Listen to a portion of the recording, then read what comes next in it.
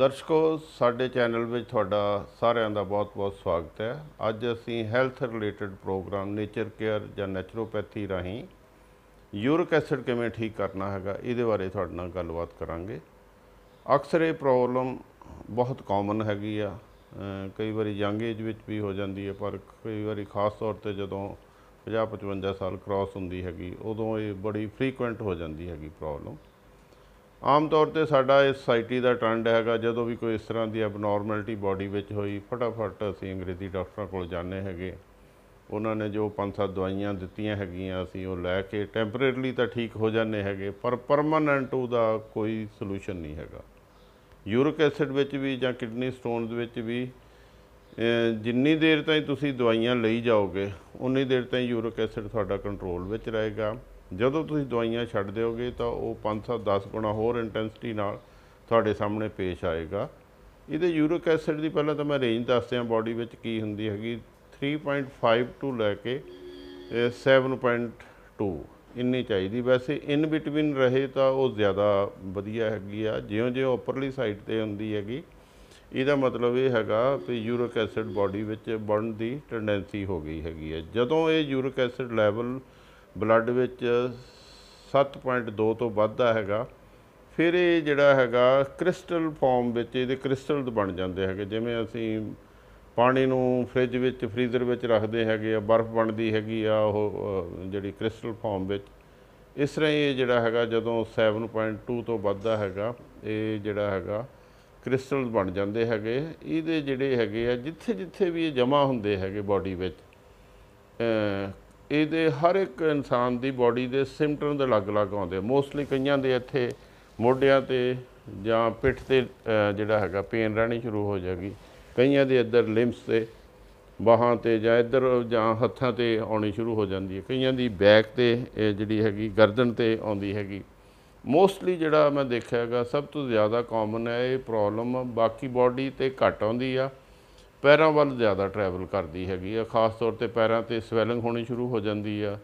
ਜਿਹੜਾ ਸਾਡਾ ਗੂਠੇ ਦਾ ਜਿਹੜੀ ਜਿਹੜੀ ਪੈਰ ਦਾ ਉਂਗਲੀਆਂ ਦੇ ਜੁਆਇੰਟਸ ਹੈਗੀ ਆ, ਉੱਥੇ ਫਿਰ ਕ੍ਰਿਸਟਲ ਜਾ ਕੇ ਜੰਮ ਜਾਂਦੇ ਹੈਗੇ ਆ। ਤੇ ਉੱਥੇ ਇਸ ਤਰ੍ਹਾਂ ਲੱਗਦਾ ਜਿਵੇਂ ਸੂਈਆਂ ਲਾਤੀਆਂ ਹੋਣ ਅੰਦਰ। ਬਹੁਤ ਜ਼ਿਆਦਾ ਅਕਿਊਟ ਪੇਨ ਹੁੰਦੀ ਹੈਗੀ ਆ। ਪਰ ਇਹਦੇ ਤੋਂ ਕੋਈ ਘਬਰਾਉਣੇ ਦੀ ਲੋੜ ਨਹੀਂ। ਨੇਚਰ ਕੇਅਰ ਤੇ ਨੈਚੁਰੋਪੈਥੀ ਨਾਲ ਬਿਲਕੁਲ ਇਹਨਾਂ ਚੀਜ਼ਾਂ ਦਾ ਇਲਾਜ ਪੋਸੀਬਲ ਹੈ। That too on a permanent level ਜੇ ਤੁਸੀਂ ਜਿਹੜਾ ਮੈਂ ਤੁਹਾਨੂੰ ਹੁਣ ਦੱਸਣ ਲੱਗਾ ਹੈਗਾ, ਤੁਸੀਂ ਕਰ ਲਓ। ਥੋੜੀ ਦੇਰ ਕਰ ਲਓ। ਮੁੜ ਕੇ ਮੇਰੇ ਸਾਰੀ ਉਮਰ ਤੁਹਾਨੂੰ ਇਦਾਂ ਦੀ ਯੂਰਿਕ ਐਸਿਡ ਦੀ ਪ੍ਰੋਬਲਮ ਨਹੀਂ ਹੋਣੀ ਚਾਹੀਦੀ। ਜੇ ਤੁਸੀਂ ਥੋੜਾ ਜਿਹਾ ਆਪਣੇ ਖਾਣ ਪਾਣ ਤੋਂ ਵੀ ਥੋੜਾ ਜਿਹਾ ਅਲਰਟ ਰੱਖੋਗੇ, ਐਲ ਐਸ ਐਮ ਮਤਲਬ ਲਾਈਫ ਸਟਾਈਲ ਮੈਨੇਜਮੈਂਟ ਤੁਹਾਡੀ ਥੋੜੀ ਜਿਹੀ ਠੀਕ ਰੱਖੋਗੇ। ਸਭ ਤੋਂ ਪਹਿਲਾਂ ਕਰਨਾ ਕੀ ਹੈਗਾ ਤੁਸੀਂ? ਜੇ ਤੁਸੀਂ ਅੰਗਰੇਜ਼ੀ ਦਵਾਈ ਖਾਂਦੇ ਹੈਗੇ ਆ, ਤਾਂ ਹੌਲੀ ਹੌਲੀ ਉਹਨੂੰ ਘਟਾ ਦਿਓ। ਜੇ ਦਿਨ 'ਚ ਤੁਸੀਂ ਇੱਕ ਇੱਕ ਗੋਲੀ, ਇੱਕ ਪਾਰਟਿਕੂਲਰ ਜਾਂ ਮਤਲਬ ਚਾਰ ਗੋਲੀਆਂ ਖਾਂਦੇ ਹੈਗੇ ਸਵੇਰੇ ਸ਼ਾਮ, ਜਦੋਂ ਇਹ ਟ੍ਰੀਟਮੈਂਟ ਸ਼ੁਰੂ ਕਰ ਲਿਓ ਹੌਲੀ ਹੌਲੀ ਘਟਾ ਦਿਓ। ਜੇ ਨਾ ਵੀ ਘਟਾਓ, ਤਾਂ ਤਾਂ ਵੀ ਕੋਈ ਗੱਲ ਨਹੀਂ, ਜਦੋਂ ਤੁਹਾਨੂੰ ਫੀਲ ਲੱਗੇ, ਉਦੋਂ ਘਟਾ ਲਿਓ। ਕਰਨਾ ਕੀ ਹੈਗਾ, ਹੁਣ ਤੁਸੀਂ ਸਵੇਰੇ ਉੱਠਣਾ ਹੈਗਾ, ਮੰਨ ਲਓ ਤੁਸੀਂ 6 ਵਜੇ ਸਵੇਰੇ ਉੱਠਦੇ ਹੈਗੇ, ਉੱਠਦੇ ਸਾਰ ਤੁਸੀਂ ਕੀ ਕਰਨਾ ਹੈਗਾ ਦੋ ਗਲਾਸ ਕੋਸੇ ਪਾਣੀ ਦੇ ਕਰਨੇ ਹੈਗੇ। ਕੋਸੇ ਘੱਟ ਨਹੀਂ, ਮਤਲਬ ਥੋੜਾ ਜਿਹਾ it should be slightly warmer ਚੰਗੇ ਨਿੱਗੇ ਹੋਣੇ ਚਾਹੀਦੇ ਹੌਟ ਨਹੀਂ ਹੋਣੇ ਚਾਹੀਦੇ it should be fairly warm ਉਹ ਤੁਸੀਂ ਦੋ ਗਲਾਸ ਪਾਣੀ ਦੇ ਪੀ ਲਓ। ਪੀ ਕੇ ਤੁਸੀਂ ਬਾਹਰ ਆਪਣੇ ਲਾਨ ਵਿੱਚ ਲੰਬੇ ਲੰਬੇ ਸਾਹ ਲਓ। ਕੋਈ ਯੋਗਾ ਦੇ ਥੋੜੇ ਬਹੁਤਾ ਆਉਂਦਾ ਜਿਹੜੇ ਹੈਗੇ ਆਸਣ ਕਰ ਲਓ, ਪ੍ਰਾਣਾਯਾਮ ਕਰ ਲਓ ਜਾਂ ਵੈਸੇ ਹੀ ਸਿੰਪਲ ਸੈਰ ਕਰ ਲਓ।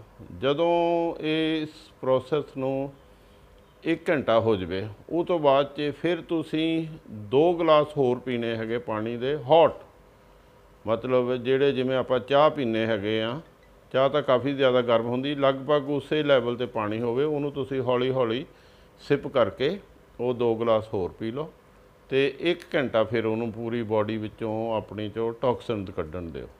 ਠੀਕ ਨੇ? ਇਸ ਪ੍ਰੋਸੈਸ ਦੌਰਾਨ ਤੁਹਾਨੂੰ ਯੂਰੀਨੇਸ਼ਨ ਵੀ ਹੋਏਗੀ ਤੇ ਹੋ ਸਕਦਾ ਕਈਆਂ ਨੂੰ ਕਨਸਟੀਪੇਸ਼ਨ ਵਗੈਰਾ ਰਹਿੰਦੀ ਹੈਗੀ ਆ। ਉਹਨਾਂ ਨੂੰ ਜਿਹੜਾ ਹੈਗਾ ਸਟੂਲਸ ਵੀ ਆਏਗਾ ਇੱਕ ਦੋ ਵਾਰੀ। ਉਹ ਜੋ ਕੁਝ ਗੰਦਮੰਦ ਬਾਡੀ ਚੋਂ ਨਿਕਲਦਾ ਹੈਗਾ ਟੌਕਸਿਨਸ ਵਗੈਰਾ ਲੈਟ ਇਟ ਗੋ ਡਾਊਨ ਕਿਉਂਕਿ ਇਹਦਾ ਜਿਹੜਾ ਯੂਰਿਕ ਐਸਿਡ ਦਾ ਮੇਨ ਰੀਜ਼ਨ ਦੇ ਆ ਪਿਊਰਿਨਸ ਜੋ ਹੁੰਦੇ ਹੈਗੇ ਬਾਡੀ ਵਿੱਚ ਆਰਗੈਨਿਕ ਕੰਪਾਊਂਡ ਦੇ ਉਹ ਤੁਹਾਡੇ ਬਲੱਡ ਵਿੱਚ ਬਹੁਤ ਜ਼ਿਆਦਾ ਇਕੱਠੇ ਹੋਏ ਹੁੰਦੇ ਹੈਗੇ। ਜਿਹੜੇ ਕਿ ਬਾਹਰ ਨਹੀਂ ਨਿਕਲਦੇ ਜਾਂ ਉਹਨਾਂ ਦੀ ਬਾਡੀ ਮੈਟਾਬੋਲਿਜ਼ਮ ਨਹੀਂ ਕਰ ਸਕਦੀ, ਉਹਨਾਂ ਦਾ ਜਦੋਂ ਮੈਟਾਬੋਲਿਜ਼ਮ ਹੁੰਦਾ ਹੈਗਾ, ਉਹ ਸਿੱਧਾ ਯੂਰਿਕ ਐਸਿਡ ਬਣਦਾ ਹੈਗਾ, ਜਿਹੜਾ ਕਿ ਤੁਹਾਡੀ ਬਾਡੀ ਵਿੱਚ ਜਮ੍ਹਾਂ ਹੋ ਰਿਹਾ ਹੈਗਾ। ਇਸ ਤਰ੍ਹਾਂ 2 ਘੰਟੇ ਤੁਸੀਂ ਹੋ ਗਏ ਹੈਗੇ 2 ਘੰਟੇ ਤੋਂ ਬਾਅਦ ਫਿਰ ਤੁਸੀਂ ਕੀ ਕਰੋ, ਜਦੋਂ ਉਹ ਤੋਂ ਬਾਅਦ ਚ ਫਿਰ ਇੱਕ ਸਿੰਪਲ ਜਿਹਾ ਫਾਰਮੂਲਾ ਹੈਗਾ। ਆਪਣਾ ਤੁਸੀਂ ਹਰ ਘਰ ਵਿੱਚ ਜਿਹੜੇ ਹੈਗੇ ਆ, ਨਿੰਬੂ ਹੁੰਦੇ ਹੈਗੇ ਆ, ਦੋ ਨਿੰਬੂ ਲੈ ਲਓ। ਤੇ ਜੇ ਆਮ ਬਾਜ਼ਾਰ ਵਿੱਚੋਂ ਮਿਲ ਜਾਂਦਾ ਆਰਗੈਨਿਕ ਐਪਲ ਸਾਈਡਰ। ਇਹ ਇਹਦੇ 5 ਚਮਚ ਲੈਣੇ ਹੈਗੇ ਆ ਦੋ ਨਿੰਬੂ ਲੈ ਲਓ ਤੇ ਇੱਕ ਚਮਚ ਸ਼ਹਿਦ ਦਾ। ਜਿਹੜੇ ਡਾਇਬਟਿਕ ਹੈਗੇ ਆ ਉਹ ਅੱਧਾ ਪਾ ਲਓ ਤੇ ਜਾਂ ਨਾ ਵੀ ਪਾਓ ਤਾਂ ਵੀ ਕੋਈ ਗੱਲ ਨਹੀਂ ਨਹੀਂ ਤਾਂ ਜਿਹੜਾ ਹੈਗਾ ਇੱਕ ਚਮਚ ਜ਼ਰੂਰ ਪਾਓ।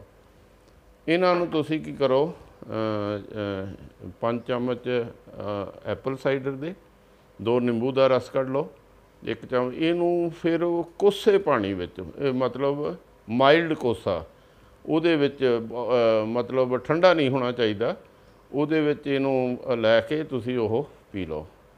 ਪੀਣ ਤੋਂ ਬਾਅਦ ਫਿਰ ਪੌਣਾ ਘੰਟਾ ਤੁਸੀਂ ਕੁਝ ਨਹੀਂ ਖਾਣਾ ਹੈਗਾ। ਇਹ ਮਤਲਬ ਤੁਹਾਡੀ ਮਾਰਨਿੰਗ ਡੋਜ਼ ਹੋ ਗਈ ਹੈਗੀ ਨੈਚੁਰੋਪੈਥੀ ਦੀ। ਜਦੋਂ ਇਹੋ ਤੁਸੀਂ ਐਪਲ ਸਾਈਡਰ ਨਿੰਬੂ ਤੇ ਇਹੋ ਸ਼ਹਿਦ ਵਗੈਰਾ ਲੈ ਲਿਆ ਹੈਗਾ। ਪੌਣੇ ਘੰਟੇ ਬਾਅਦ ਫਿਰ ਤੁਸੀਂ ਆਪਣਾ ਨਾਰਮਲ ਰੁਟੀਨ ਕਿਸੇ ਨੇ ਚਾਹ ਪੀਣੀ ਹੁੰਦੀ ਹੈਗੀ ਜਾਂ ਜੋ ਵੀ ਤੁਹਾਡਾ ਹੈਗਾ, ਉਹ ਤੁਸੀਂ ਖਾ ਸਕਦੇ ਹੈਗੇ।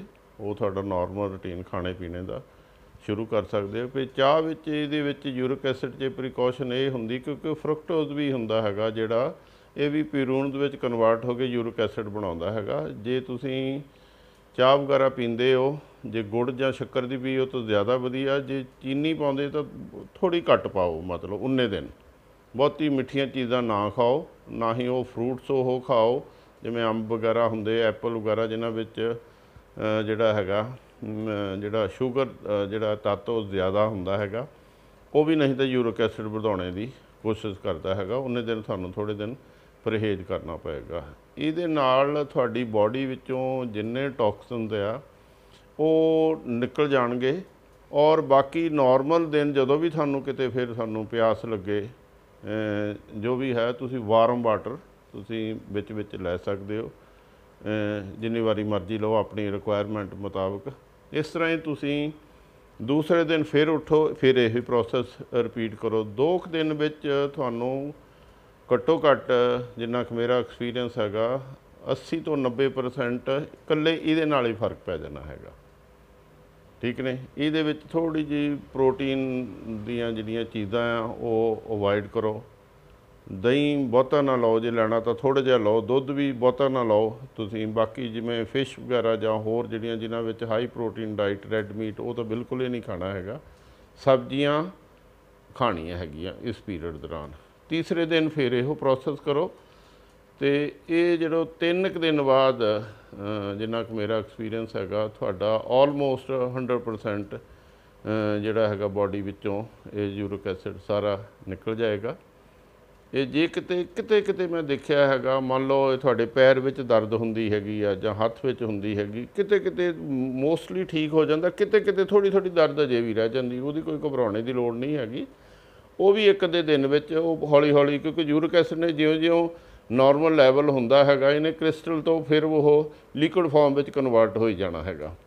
ਇਸ ਕਰਕੇ ਇਹੋ ਦੋ ਤੋਂ 3 4 ਜਾਂ 5 ਦਿਨ ਬਾਅਦ ਜਿਹੜਾ ਹੈਗਾ, ਪੂਰਾ ਇਹ ਨਾਰਮਲ ਰੇਂਜ ਵਿੱਚ ਆ ਜਾਣਾ ਹੈਗਾ।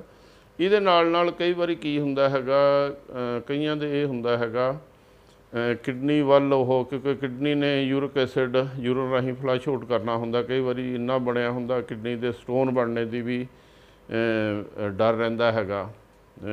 ਜੁਆਇੰਟਸ ਵਿੱਚ ਜਿਹੜਾ ਹੈਗਾ ਕਾਫੀ ਕ੍ਰਿਸਟਲ ਜਮ੍ਹਾਂ ਹੋਏ ਹੁੰਦੇ ਹੈਗੇ ਆ। ਉਹ ਤਾਂ ਚਲੋ ਹੌਲੀ ਹੌਲੀ ਇਦਾਂ ਹੀ ਨਿਕਲ ਜਾਣਗੇ। ਜਿਹੜੇ ਕਿਡਨੀ ਵਾਲੇ ਹੈਗੇ, ਉਹ ਕਈ ਵਾਰੀ ਬਹੁਤ ਪੇਨਫੁਲ ਹੋ ਜਾਂਦੇ ਹੈਗੇ। ਉਹਦੇ ਲਈ ਖਾਸ ਤੌਰ ਤੇ ਅਲਰਟ ਰਹਿਣੇ ਦੀ ਜ਼ਰੂਰਤ ਆ। ਉਹਦਾ ਵੀ ਇੱਕ ਬਹੁਤ ਸੋਹਣਾ ਇੱਕ ਨੈਚੁਰੋਪੈਥੀ ਆਯੁਰਵੈਦ ਦਾ ਫਾਰਮੂਲਾ ਹੈ ਇਹ ਜਿਹੜਾ ਤੁਸੀਂ ਮੈਂ ਦਿਖਾ ਰਿਹਾ ਹੈਗਾ, ਇਹਨੂੰ ਆਮ ਭਾਸ਼ਾ ਵਿੱਚ ਕਹਿੰਦੇ ਪੱਥਰ ਚੱਟ। ਇਹ ਮੈਂ ক্লোਜ਼ ਅਪ 'ਚ ਤੁਹਾਨੂੰ ਦਿਖਾ ਰਿਹਾ ਹੈਗਾ। ਇਹ ਦੇਖੋ, ਇਹ ਮੇਰੇ ਕੋਲ ਤਾਂ ਮੈਂ ਘਰ ਗਮਲੇ ਵਿੱਚ ਕਾਫੀ ਬੂਟੇ ਲਾਏ ਹੈਗੇ ਇਹ ਪੱਥਰ ਚੱਟ ਕਹਿੰਦੇ ਜਾਂ ਪੱਥਰ ਚੱਟਾ ਵੀ ਕਹਿ ਦਿੰਦੇ ਹੈਗੇ। ਇੰਗਲਿਸ਼ ਨੇਮ ਇਹਦਾ ਹੈਗਾ bryophyllum pinnatum B R Y O P H Y double L U M P I double N A T U M ਇਹ ਇੰਗਲਿਸ਼ ਨੇਮ ਹੈਗਾ। ਇਹ ਲਗਭਗ ਹਰ ਕੰਟਰੀ ਵਿੱਚੋਂ ਮਿਲ ਜਾਂਦੇ ਹੈਗੇ ਪੌਦੇ। ਜੇ ਇਹੋ ਮੈਂ ਜਿੰਨਾ ਕੁ ਦੇਖਿਆ ਹੈਗਾ, ਲਗਭਗ ਮਿਲ ਹੀ ਜਾਂਦੇ ਹੈਗੇ ਆ। ਇਹਨੂੰ ਤੁਸੀਂ ਆਪਣੇ ਘਰ ਵਿੱਚ ਉਗਾ ਲਓ। ਇਹਦਾ ਕੀ ਹੈਗਾ, ਤੁਸੀਂ ਜੇ ਤਾਂ ਵੱਡਾ ਪੱਤਾ ਹੈਗਾ, ਜਿਵੇਂ ਆਹ ਵੱਡਾ ਪੱਤਾ ਹੈਗਾ, ਇਹੋ ਇੱਕ ਪੱਤਾ। ਜੇ ਛੋਟੇ ਹੈਗੇ ਆ, ਤਾਂ ਇਹ ਦੋ ਪੱਤੇ। ਇਹ ਤੁਸੀਂ ਜਦੋਂ ਪਾਣੀ ਪੀਂਦੇ ਹੈਗੇ ਹੋ, ਉਹ ਮਾਰਨਿੰਗ ਵਿੱਚ ਵਾਰਮ ਵਾਟਰ ਨਾਲ, ਇਹ ਦੋ ਪੱਤੇ ਤੁਸੀਂ ਜੇ ਛੋਟੇ ਹੈਗੇ ਦੋ ਪੱਤੇ ਤੇ ਜੇ ਵੱਡਾ ਹੈਗਾ ਇੱਕ ਪੱਤਾ, ਉਹ ਵੀ ਨਾਲ ਹੀ ਖਾ ਲੈਣੇ ਹੈਗੇ। ਜਦੋਂ ਪਹਿਲੀ ਵਾਰੀ ਤੁਸੀਂ ਵਾਰਮ ਵਾਟਰ ਲੈਣਾ ਹੈਗਾ। ਉਹਦੇ ਨਾਲ ਕੀ ਆ, ਕਿਉਂਕਿ ਇਹ ਹਾਈਲੀ ਐਲਕਲਾਈਨ ਇਨ ਨੇਚਰ ਹੈਗਾ। ਇਹ ਜਿਹੜਾ ਵੀ ਸ- ਜਿਹੜਾ ਯੂਰਿਕ ਐਸਿਡ ਹੈਗਾ, ਜਦੋਂ ਰਿਐਕਸ਼ਨ ਹੁੰਦੀ ਹੈਗੀ ਆ ਐਸਿਡ ਤੇ ਐਲਕਲੀ ਇੱਕ ਦੂਸਰੇ ਨੂੰ ਡਿਸੋਲਵ ਕਰਦੇ ਹੈਗੇ ਆ। ਉਹ ਯੂਰਿਕ ਐਸਿਡ ਬੜੀ ਤੇਜ਼ੀ ਨਾਲ ਜਿਹੜੇ ਸਟੋਨ ਦੇ ਆ ਡਿਸੋਲਵ ਹੋ ਕੇ ਉਹ ਪਿਸ਼ਾਬ ਰਾਹੀਂ ਯੂਰਨ ਰਾਹੀਂ ਬਾਹਰ ਨਿਕਲ ਜਾਣਗੇ। ਜਾਂ ਉਹ ਕਈ ਵਾਰੀ ਕੀ ਆ ਜੇ ਫਾਲਤੂ ਜਿਹੜਾ ਯੂਰਿਕ ਐਸਿਡ ਸਾਡੇ ਕੁਝ ਕੁ ਸਟੂਲ ਰਾਹੀਂ ਵੀ ਪਾਸ ਆਊਟ ਹੁੰਦਾ ਹੈਗਾ। ਇਹ ਵੀ ਬਹੁਤ ਵਧੀਆ ਇਹਨੂੰ ਤੁਸੀਂ 5 ਦਿਨ ਲੈਣਾ ਹੈਗਾ। 5 ਦਿਨ ਤੋਂ ਜ਼ਿਆਦਾ ਨਹੀਂ ਲੈਣਾ ਹੈਗਾ।